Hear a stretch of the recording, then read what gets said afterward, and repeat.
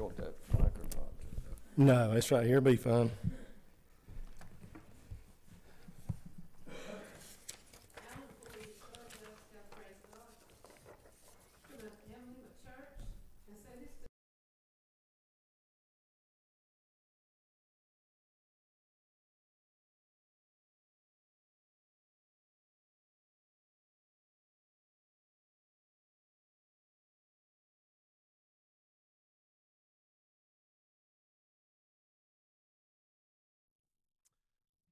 you, Janet. Anybody else?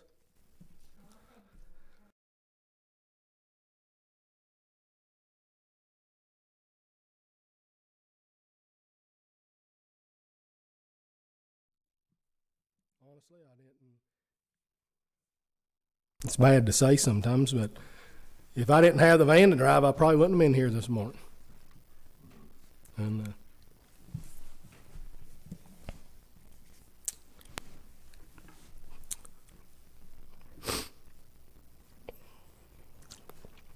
you know, there's some things you you don't mind saying, and some things you ashamed to say, but that's just the truth. Because this morning I was in a lot of pain, and uh, but I can.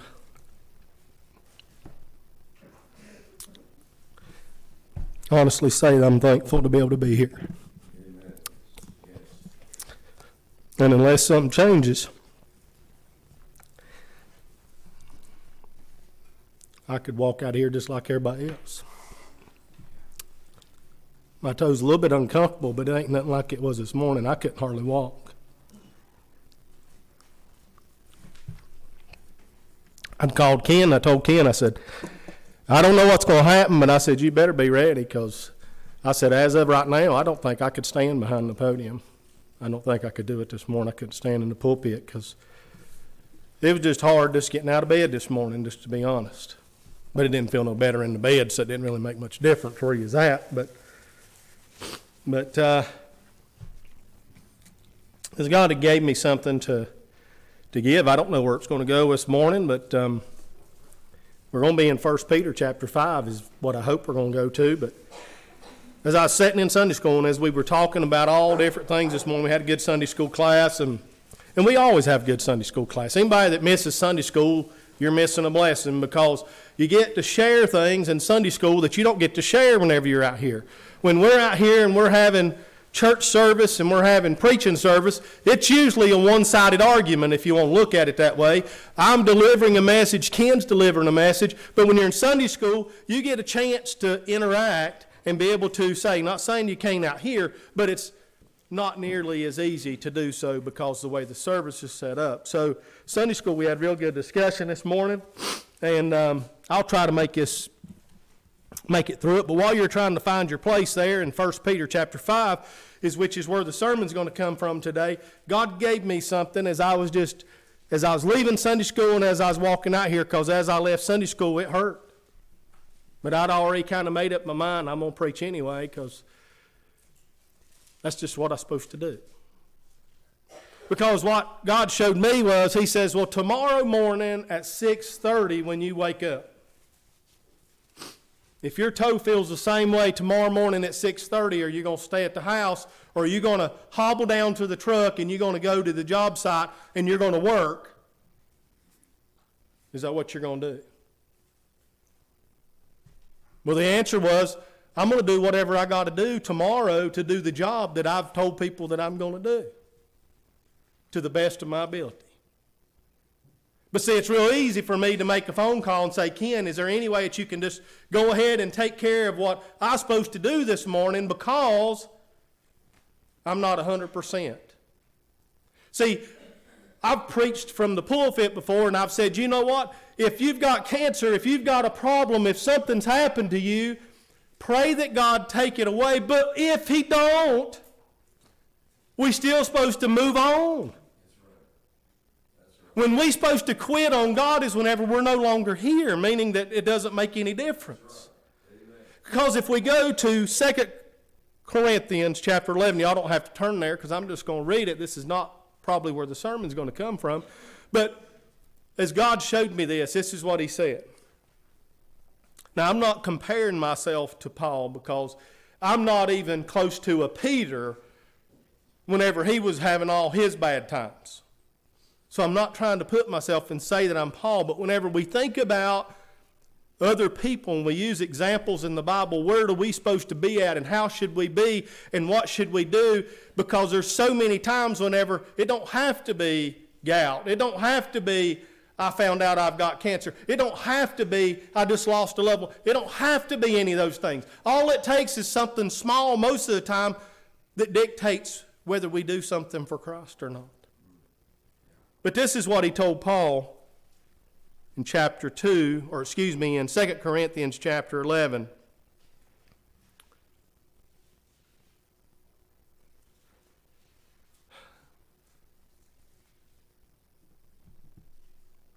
I'm going to start in verse 5 because I don't want to get through, I just want to get to the, the message. But it says, Of such of one will I glory yet of myself, I will not glory, but in mine infirmities you know what? In all the problems he's got, he's going to glorify God.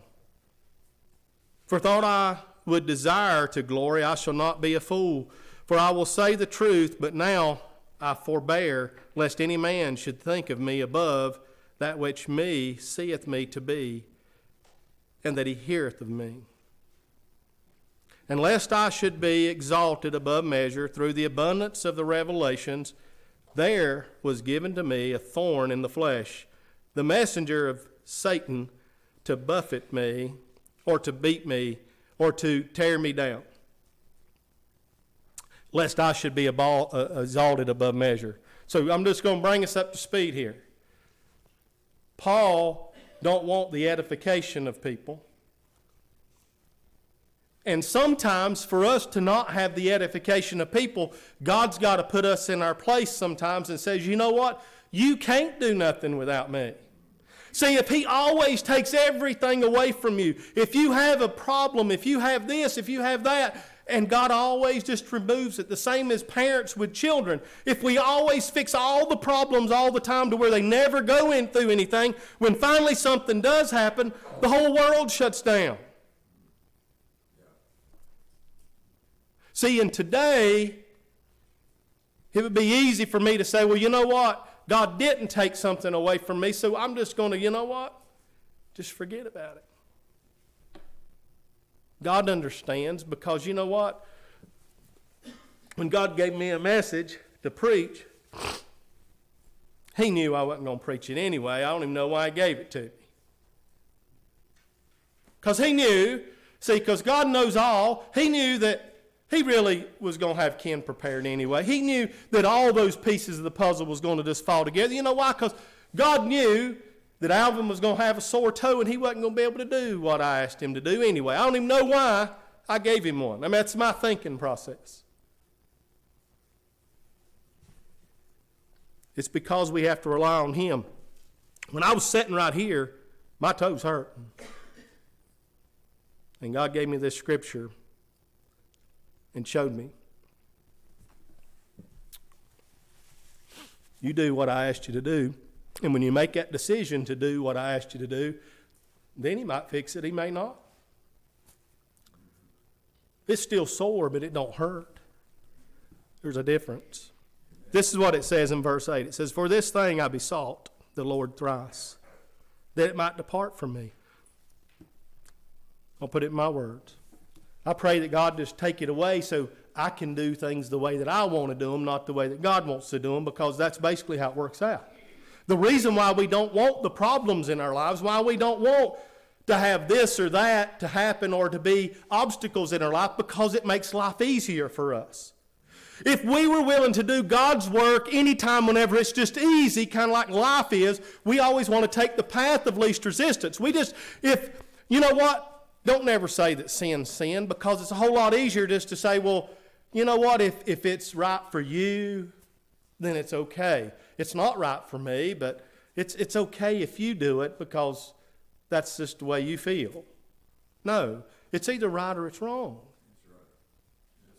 You know, it's a whole lot easier just to tell your kids whenever they're crying and screaming and they're wanting to do what they want to do is to say, okay, just go on and do what you do, just leave me alone.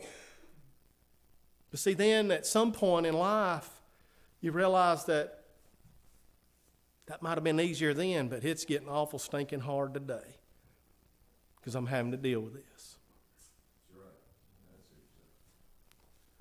See, which is easier for Alvin to make a decision because his toe hurts, or whenever I'm faced with a situation within my family that I've got to decide whether I'm going to quit my job because of my beliefs.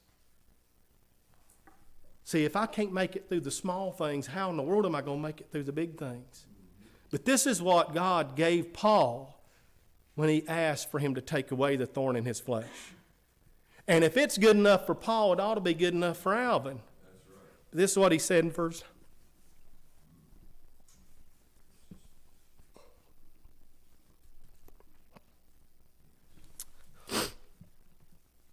I'm going to put a little bit of my words to it just so you can get the full gist of it. But God said unto me, says in the scriptures, He said, but it means God.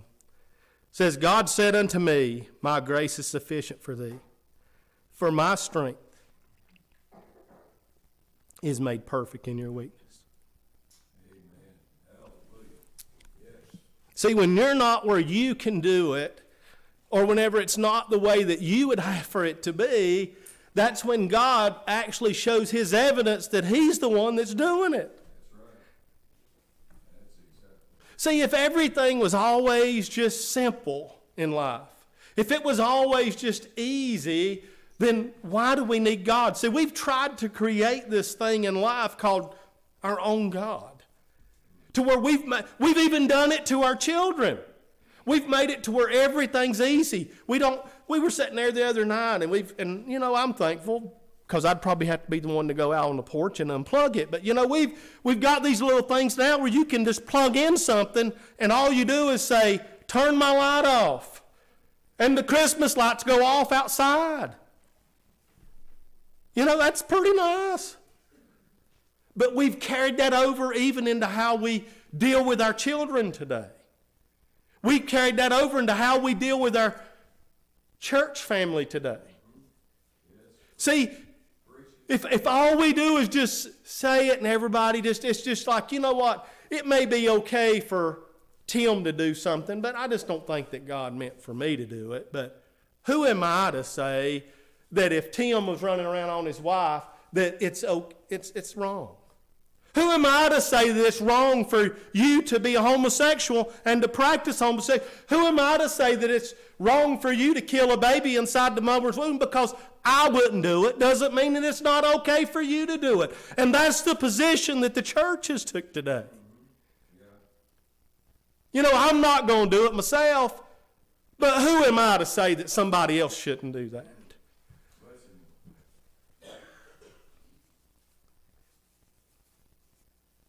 It's because we take the path of least resistance. The least resistance this morning would have been for me to sit on the pew and let Ken do it. Ken would have preached a good message this morning. But I found out a long time ago, most of the time when I preach a message, it's not for you guys, it's more for me. I do a whole lot more growing than the people that I end up preaching to.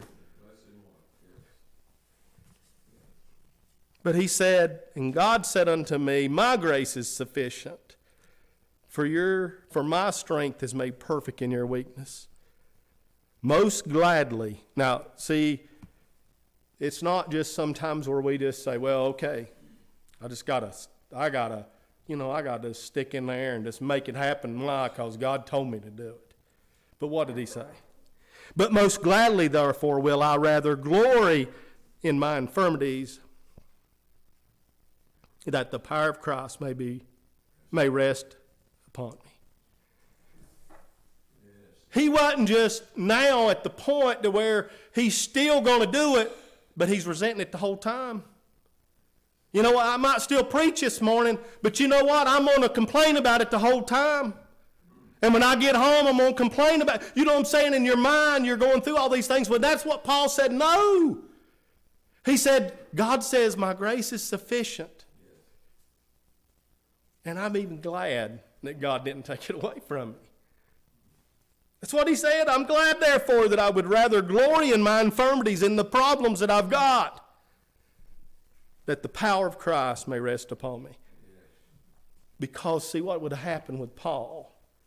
If God had chose to remove that from Paul, Paul knew enough about himself to where Paul would have said, well, I'm doing it myself, and I don't have to have God. But whenever he realized that he couldn't do nothing without God, and God said, you know what, I know that you can't do it without me, but I'm going to leave this little old problem you got, whatever it may be, just so you have to rely on me. So be thankful sometimes about the problems, the infirmities, and those things that you have because God may have left them there for a reason. Because if He'd have took them away, you wouldn't be who you are today. And it carries right over into what we were going to talk about this morning See, all different kind of things happen for different reasons. I believe that every person you made to believe different than me, that's fine. That's between you and God. It has nothing to do with me. But I believe every one of us is here for a reason this morning. I don't think anybody's here just by happenstance. I don't think it was just by accident. I do believe there's a reason that we're here, and there's a reason that all the circumstances have took place is what's took place this morning is for us to bring us to a place to where we are at this morning, to bring us to a level as to where we need to be. And I don't know what that is, but God does. But I do believe that there's a purpose for everything. Because there's this big problem we have that there's nobody that is immune to it. Not everybody's going to get a problem with their toe. Not everybody's going to get cancer. Not everybody's going to have a heart attack. Not everybody's going to have a loved one to die this week. Not everybody's, not everybody's going to have all these things. But there is something that all of us are going to have. And God is just as sufficient for it as He is all those other things. So in 1 Peter chapter 5, and for time's sake, I'm going to just read one verse.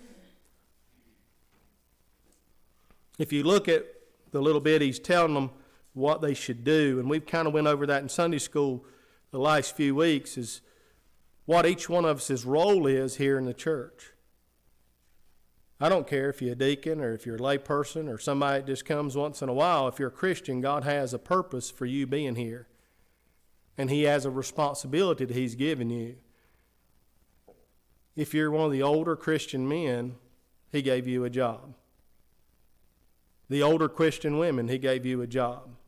Now, whether you choose to do it or not, that's up to you, and you will answer for that.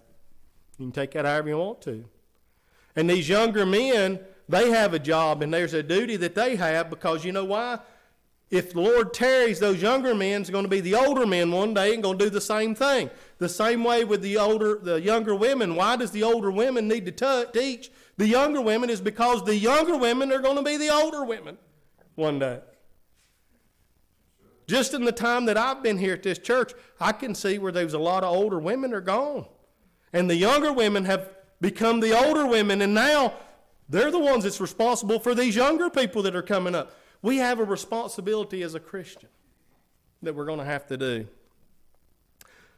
But that's what he's telling them here in these first few verses. And we get over to 8, and he tells them something and finishes it off. And the reason is because he tells them all these things that I'm not going to go over. You can read it in 1 Peter chapter 5.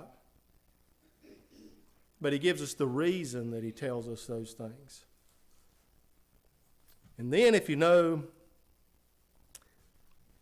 well, let's just read it. In 1 Peter chapter 5 and verse 8, it says, Be sober, be vigilant, because your adversary, the devil, as a roaring lion, walketh about seeking whom he may devour. So, why do you need to teach the kids? Why do you need, as older Christians, need to be teaching the younger Christians? Why? Is because there's an adversary out there called the devil that is seeking to destroy you. Seeking to destroy you. In verse 9, it says, Whom resist steadfast in the faith, knowing that this, excuse me. Yeah. Whom resist steadfast in the faith, knowing that the same afflictions are accomplished in your brethren that are in the world.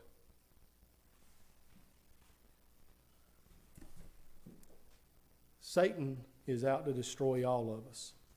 There's nobody in here that will not have to deal, I won't say specifically with Satan, but with the snares that Satan has. And that's what I want to talk to us just a few moments this morning about. Is if I was going to put it as the snares of Satan.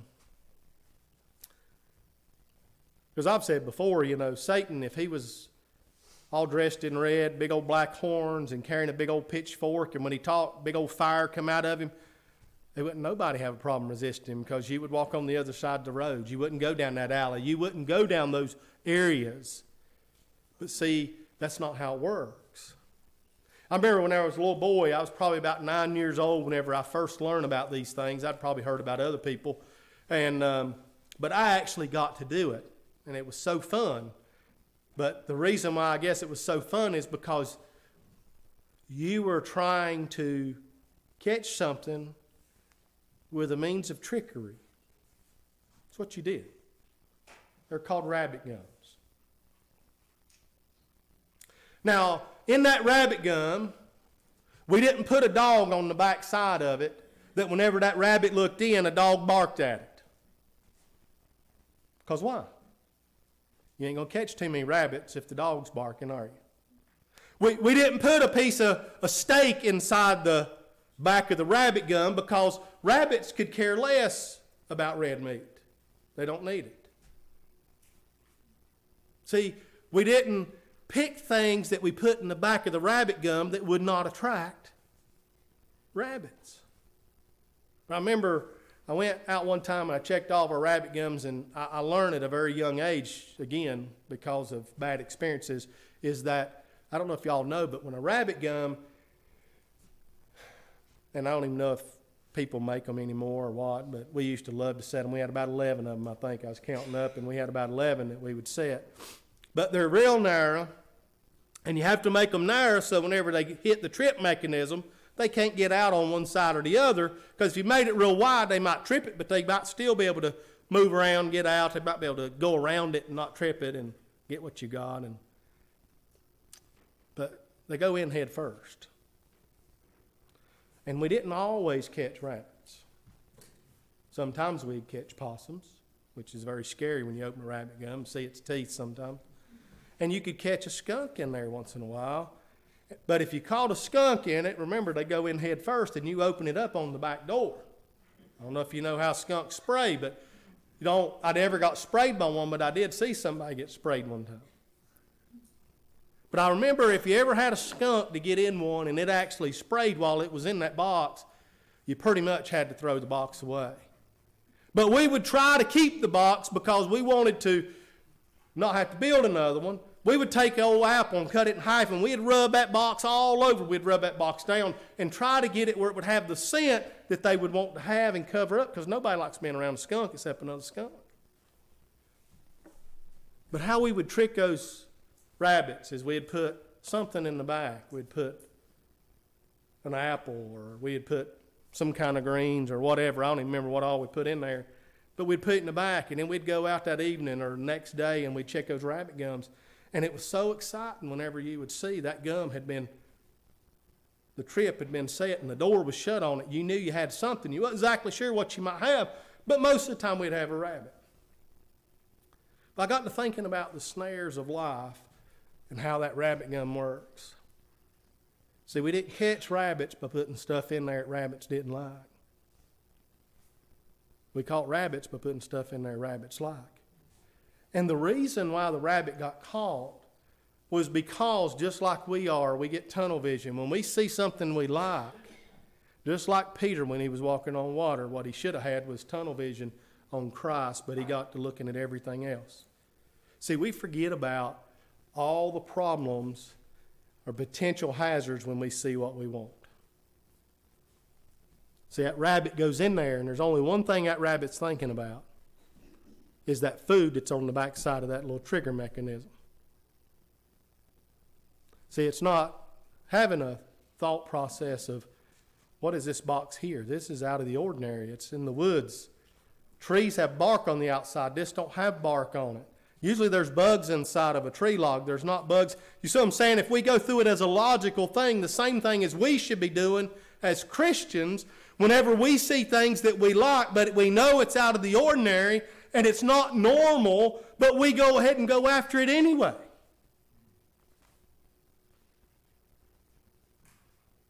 But the bad part is when you actually get to it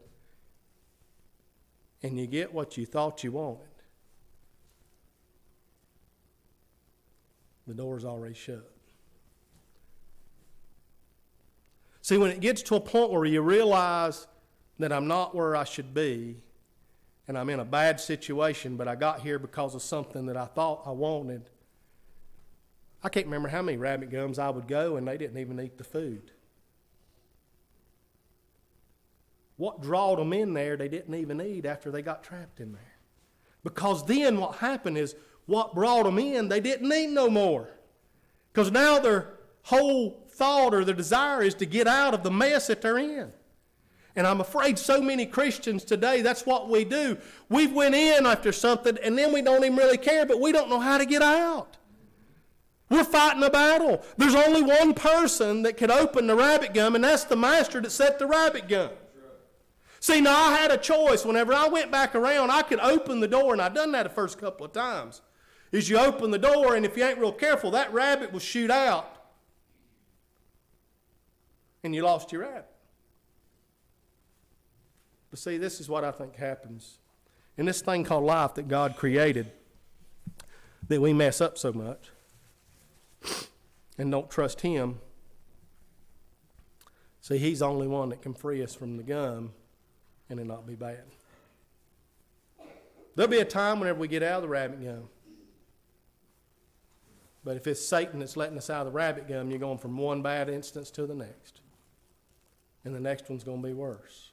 I don't know if y'all know or not, some of the kids might not, but you know, we didn't catch the rabbits to play with them in the yard. We caught the rabbits because we was planning on going to be eating it not shortly thereafter. That's what the scripture says. Satan sets snares for you because he's planning on devouring you and destroying you.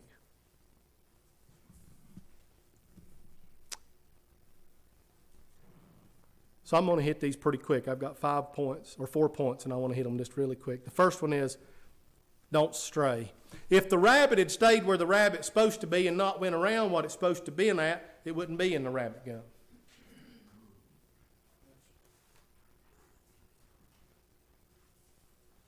You know what? If we stay where we're supposed to be, where God tells us to be, if we're a Christian, God's going to tell us where we're supposed to be at. And if we're in the wrong place, He's going to tell us. And if we listen, we're going to avoid a lot of these snares. We're not going to get into gum.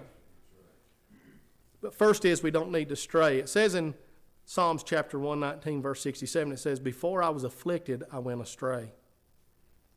But now have I kept thy word. Before I was afflicted, I went astray. Meaning, a problem came on you because you decided to not listen to God. And then he made a choice here. Now I keep the word. Sometimes we've got to have some discipline in our lives, meaning that Christ disciplines us or God disciplines us to get us back on the path. Now, I don't like discipline too much. I, I don't even like giving it. But I definitely don't like receiving it. But if I do what I'm supposed to do, I won't have no discipline, will I? So the first thing is don't go astray to begin with. Don't go astray. I'll just tell you how you go astray. I'll just give you a little short scenario and it's pretty quick. Now, I'm not saying everybody fits this, but 99% of the time, it's how it works. The first is Christians sometimes neglect their prayer life. Neglect their prayer life. Then they fail to study. People quitting coming to church ain't the first thing that happens. I've said that often. When you see a Christian, when they quit coming to church, they were gone a long time before they ever quit coming. It's the things that they were doing or not doing at home that happened a long time before we ever seen the evidence, meaning that they weren't here. But see, part of our duty is, is to recognize that maybe they're acting just a little bit different. Maybe we should have asked some questions. Maybe we should have done something to help them from going astray while we still had the opportunity. Because once they leave the church, it's hard to get people back in. That happens. But it's hard. It's a whole lot easier to retain than it is to recruit. So the first thing is don't go astray.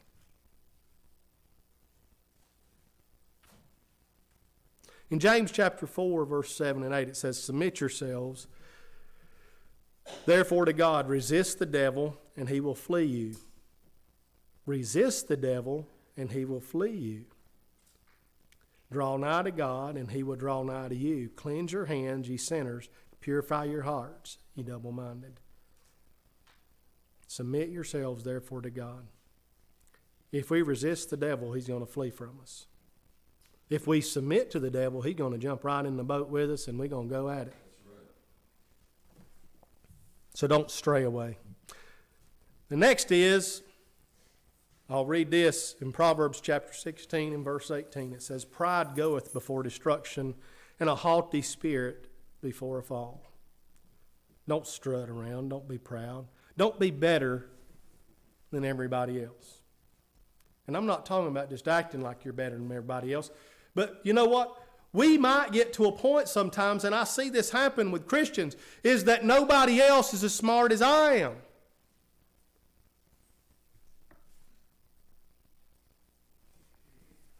When you get to a point where you think you know it all, you know the least. Why? Because you know what? We can do nothing without Christ. Now, there's some people that are more biblically smart than others and some people that are even more spiritual than others. But if you have Christ that lives inside you, called the Holy Spirit, we're all on an equal playing ground. It's just whether we allow it to happen or not. But what does it say? Pride goeth before destruction. Meaning, just to put it in my words, when you become too prideful, you're getting ready. Just hold on. You're getting ready to fall. Things are getting ready to go south for you. And I wonder if that's not why God left that infirmity for Paul, was because he knew Paul would fall into that prideful thing. Because what did he say? He said, I'm glad that God left this infirmity with me because I have to rely on his strength. See, people get to a point where they say, you know what? I know more than everybody else, or I even know more sometimes than what God does. And you know what? I don't need him. Because what's happened? They, they don't come to church no more. Because why do I need to be around all those people that's not as smart as I am? I don't need to sit in a Sunday school class that they don't teach as much as what I know. You see what I'm saying? It's very easy for us to fall into that category if you ain't careful. But usually destruction comes shortly after there, and you'll see that happen in people's lives. Because James chapter 4, verse 10 says, Humble yourselves in the sight of the Lord, and he shall lift you up. If you'll humble yourself, Christ will lift you up. But see, whenever we exalt ourselves, you're going to get a reward. But it says your reward be here on earth, won't be hereafter. So don't stray, but also don't strut or don't be proudful.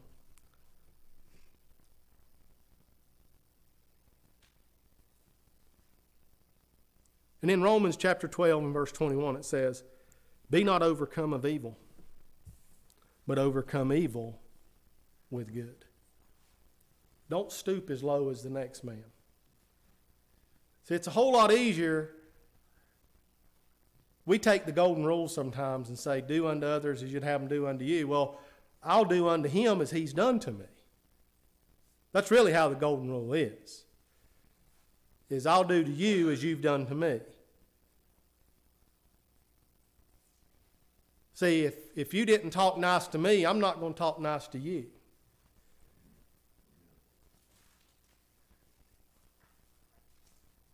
If you mistreat me, I'm going to mistreat you, and I actually want to make sure that you feel just as bad as I feel. See, ain't that what the golden rule says? Is that do unto others as they do to you? No. It says, do unto others as you would have them to do to you. Meaning, you treat them the way you would like for them to treat you, not treat them the way they're treating you, because they may treat you like dirt, but you're supposed to treat them godly because that's what God says for us to do. So don't stoop as low as the next man. That's why we're in the mess we're in today, is because this person mistreated me and I'm going to mistreat them and I don't care. So now I've had a bad day and I'm going to mistreat this person as bad as what I feel, and that person's going to feel the same thing, so they're going to mistreat me. Next thing you know, all of us is mistreating each other. And it'd be nice to say that the only place that happens is outside the four walls of the church, but it happens inside the church as much as it happens outside the church. I remember a preacher one time I was listening to him preach. He said, The meanest people I've ever met are Christians. He said, They talk about you and they're the meanest people they are. And I thought about that. How in the world would he get to a point where he's like that? It's probably because he pastored a church. To where you're not preaching a sermon like maybe they want you to, or somebody don't like you, and next thing you know, they've got the whole church against you. When if we're good Christians like we're supposed to, when somebody starts that mess, you're supposed to fix it. Don't go to the pastor to fix it. Now I'm saying if the if Ken gets up here or if I get up here and I'm not preaching the gospel, I don't need to be here. But you don't do it because everybody gets against me and attacks me. There should be a leader in the church should come up to me and say, hey, we need to sit down and talk about what you're preaching. And if you're not going to change it, we're going to have to get somebody else.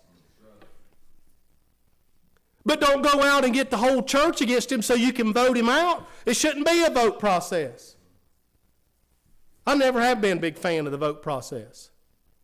Because all you got to do is get enough people that hate him just as bad as you do, and you can have something done. When if you really want to do it the way God says to do it, is we're supposed to get on our knees, and God's supposed to be the one that guides us and directs us. Absolutely. And if the pastor's not doing what he's supposed to be doing, the men of the church ought to be man enough and Christian enough to say something to him and not make a big spectacle of it. So don't stoop as low as the next man. And this is the last one. And this goes a little bit along with what I first talked about. Matthew chapter 10 and verse 22, it says, And ye shall be hated of all men for my name's sake. But he that endureth to the end shall be saved. This, this little one little scripture, if we want to take any other scripture, kind of nips the one time thing in the bud. Meaning that you just had one prayer that you said, Hey, I asked Christ and I believe in Him and I'm good to go and I can go out and I can live like the world and I'm still getting in the door. See, we'd have to admit this one because it says, And ye shall be hated of all men for my name's sake. You're not going to be hated by men if you come in and you accept Christ Go out and live in the world like everybody else. You're not going to be hated. Because then it says, But he that endureth to the end shall be saved. Who's going to get it? It's going to be who endures. Now, I'm not saying we don't have assurance of salvation, but a one time prayer don't get you in the door. There has to be a commitment from you, and that you're not going to stop because of what circumstances you've been dealt. See, it's easy for us to say, you know what? I'll serve Christ as long as everybody at that church is nice to me. I'll serve Christ as long as you know what? As I leave, at least five people shake my hand before I leave. I've had people say, you know what? He didn't speak to me today. He must be mad at me. Well, why didn't you go up and speak to him? Are you mad at him? It goes both ways. See, we get to a point where we want to always put it off on somebody else. He didn't speak to me today, and I don't know why, and I ain't going back out there. Well, what if he thought the same thing? We'd have two people gone because you didn't speak to him either.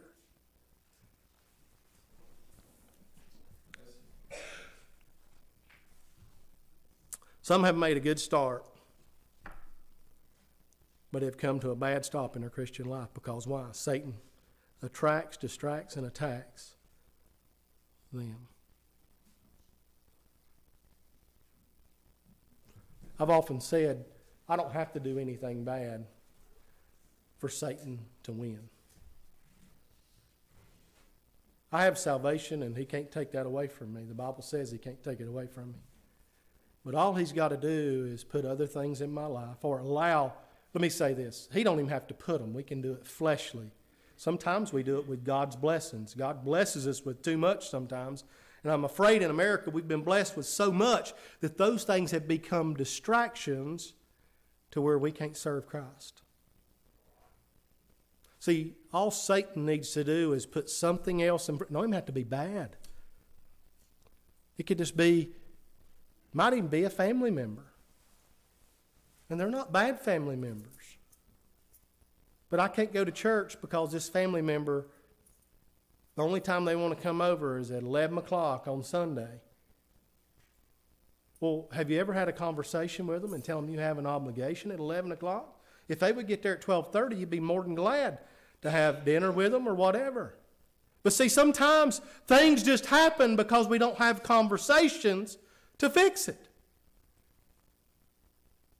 We just let it go on, whatever it is. Sometimes we have to make stands that's not pretty. We have to make stands that hurts people's feelings. But you know what? Do you not think when we stand before the judgment that all those things are going to come up?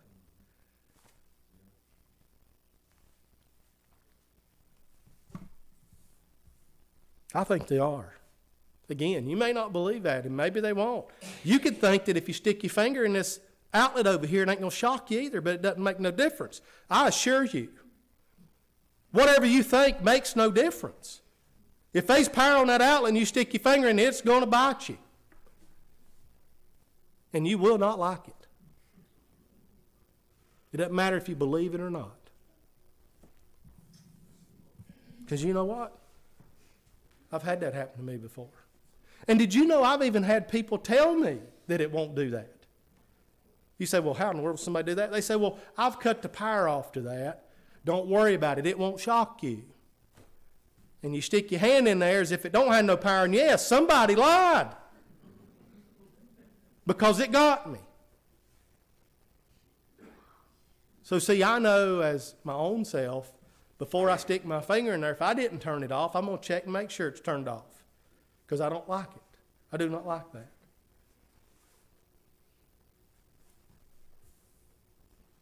But see, that's what happens to people in church. You just go off what somebody else says. You know what? We've been preached to for so long, and I'm not talking about here at this church.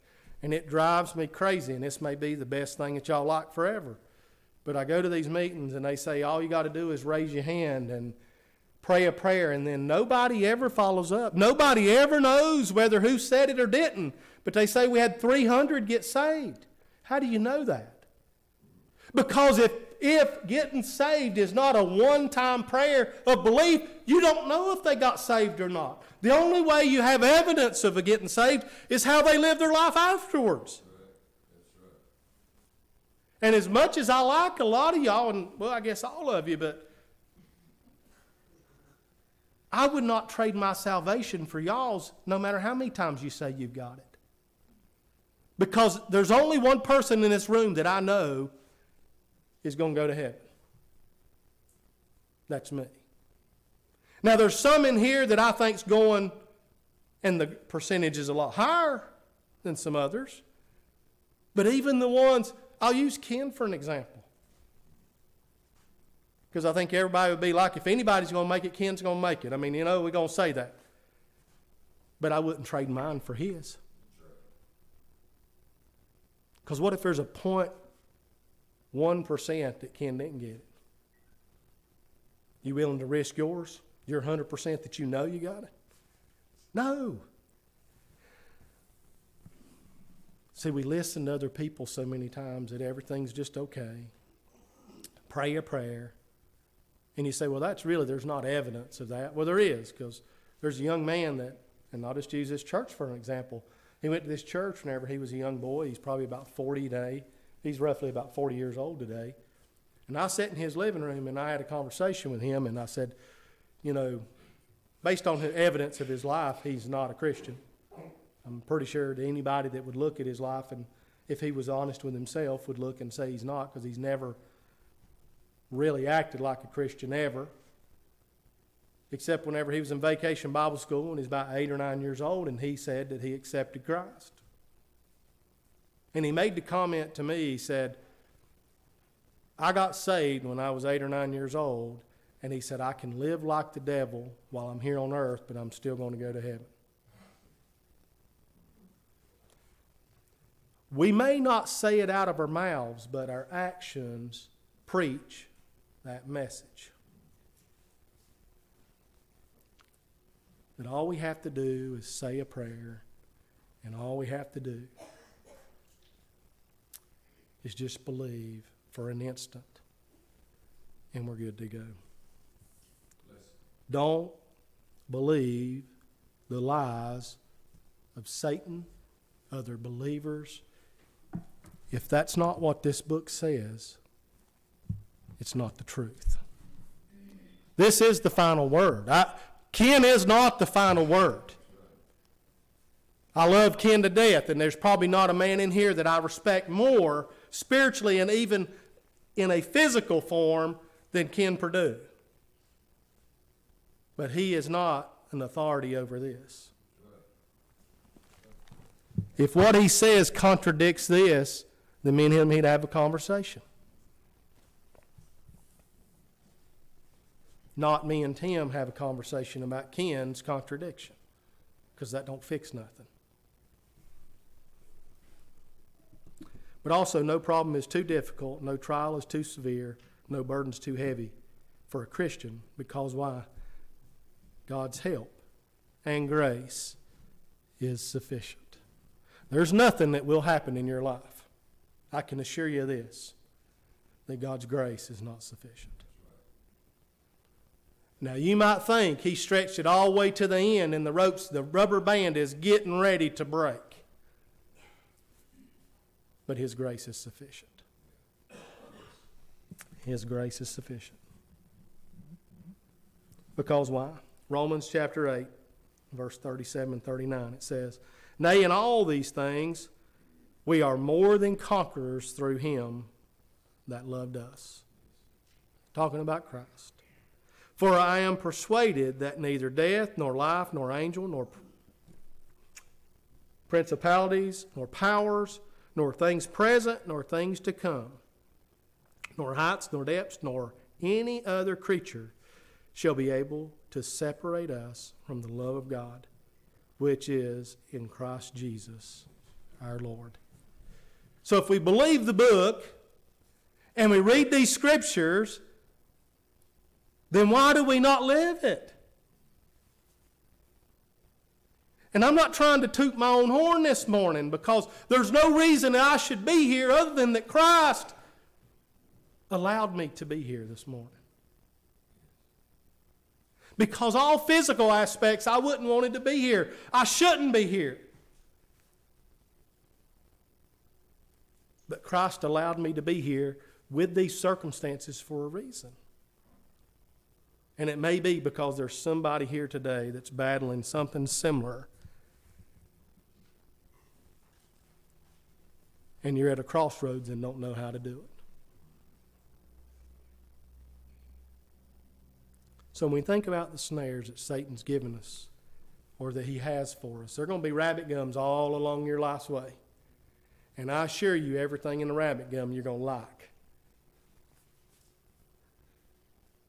See, the rabbit gums on my life don't have drugs and alcohol because I've never, that's not a, I wouldn't even look, I wouldn't even peep in the rabbit gum for drugs or alcohol.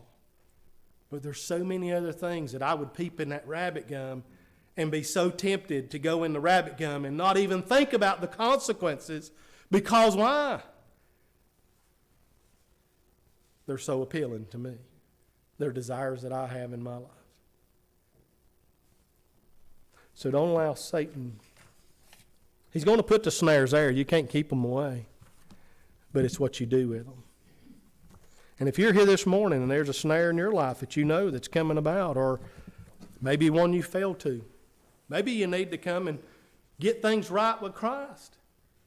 Because all that we've talked about this morning, really, if you think about it, means nothing to somebody that's lost until you become saved. You can't say just trust in Him when you don't even know who Him is.